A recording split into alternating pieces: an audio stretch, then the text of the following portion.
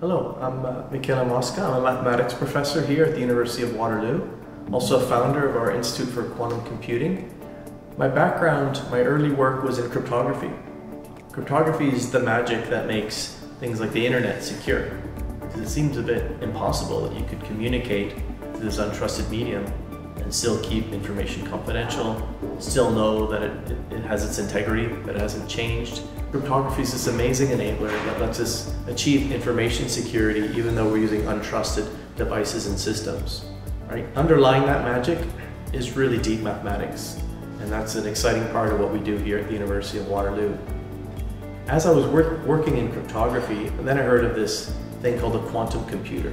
I have to admit, I initially dismissed it as most ridiculous thing I'd ever heard of. I studied it a bit more and realized I was wrong. It would eventually become a reality and it would completely disrupt the cryptography I was working on. It would completely disrupt the way we currently, in fact, protect the internet, how we protect IoT, and so on. So that's a problem.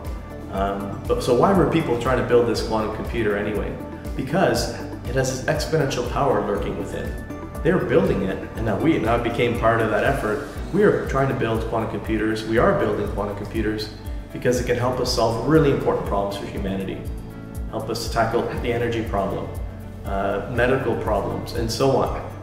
And to do that, you know, to, how do we how do we uh, write new algorithms? How do we program quantum computers and so on? Again, there's just many, many fundamental mathematics problems underlying that.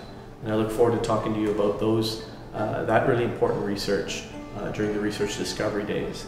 So a very exciting time for both computer science and security and privacy, and I really look forward to sharing all that excitement with you.